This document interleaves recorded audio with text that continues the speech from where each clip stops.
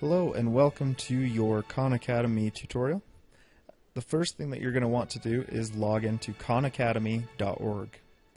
You can sign in using your Facebook account, Gmail account, or another email account. For your assignment today, go ahead and log in with your Gmail account by clicking on the Sign In with Google button. It will ask you if Khan can access your Google account. Go ahead and push Allow. You'll be sent to your account screen. From here, you can access many different sites within Khan Academy. You can view your accomplishments, vital statistics, and the community by clicking on any of the links on the left. We will only be focusing on a few of these, but first let's check out the main feature of Khan Academy that our students will use. In the top left hand corner, there is a drop down menu called Learn. The first option, which is the Home button, will allow students to search all kinds of videos that cover multiple subjects from math to economics to computer science.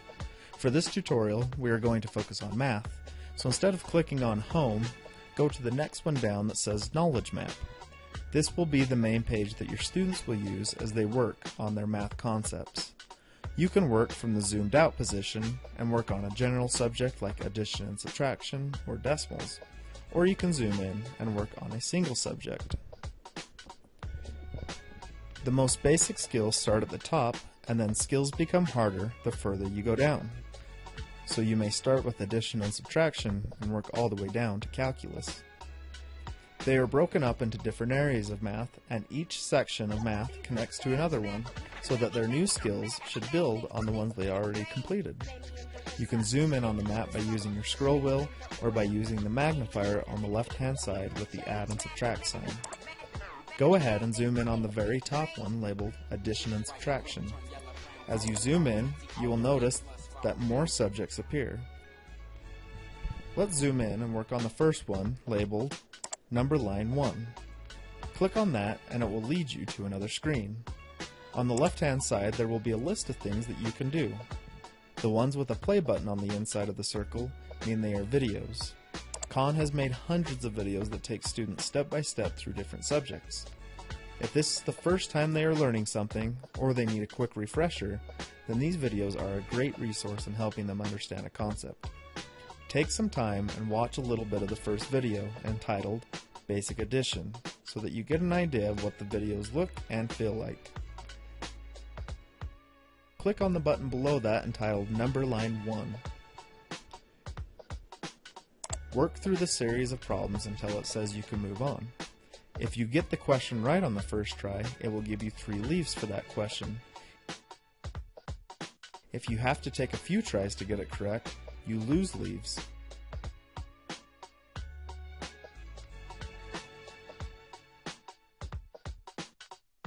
You can also ask for hints in case you forget a step. This will also take away leaves.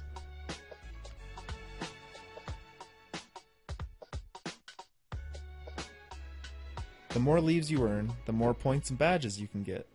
It also helps teachers identify skills that they are struggling with.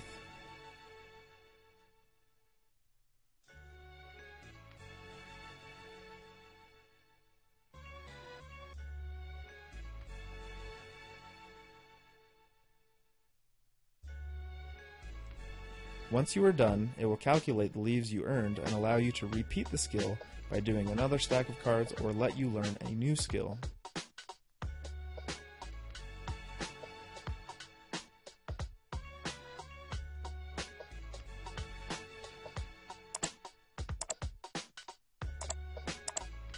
To completely finish a skill, your green bar needs to be filled completely up until it turns blue. It will also change the color of your circle to blue. Once you've finished the skill and filled the bar completely blue, go ahead and push Learn New Stuff. It will automatically take you to the next skill that you need to learn. Seeing as how you are in college, you probably know one digit addition. There is a way for you to skip these subjects by going back to your knowledge map. Go back to your knowledge map by clicking on the drop down menu again. Zoom up on the addition and subtraction icon, and this time click on multiplying three digits by one digit over on the left-hand side.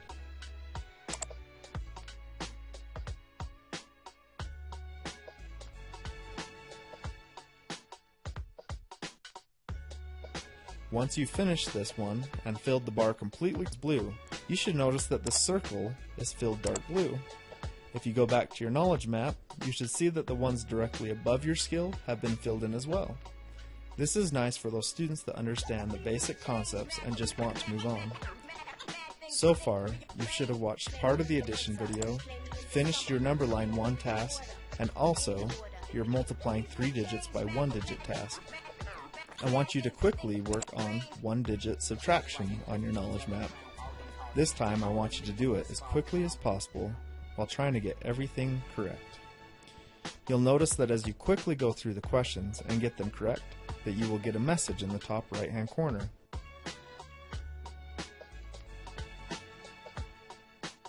If you click on that, you'll notice you earned a badge.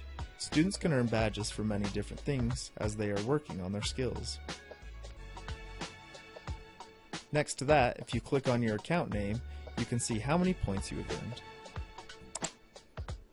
Click on your points and you will be redirected back to your account screen. On this screen, they will suggest activities you should work on as well as show you recent activities you've completed.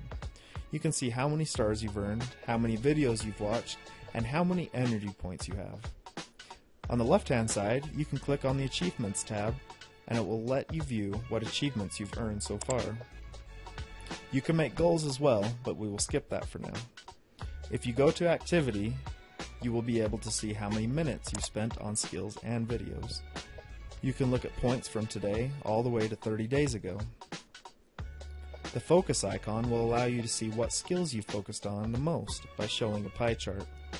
The Skills Progress tab allows you to see what skills you are proficient in, need reviewing, or are struggling with.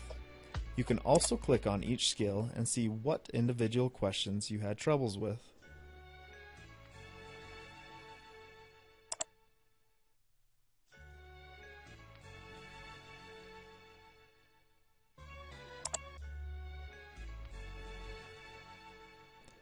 Progress Over Time link will show you how many days you've worked on the site and how many skills you've completed in that time. Below in the Community section, you will learn our last feature. Click on Coaches and then it will ask you to add a coach.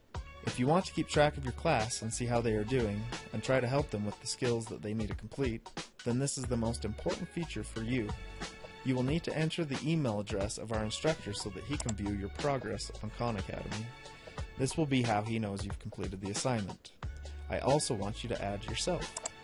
Once you add your own Gmail account, you can click the coaches link at the very top of the page. This allows you to view statistics from each student you are a coach for.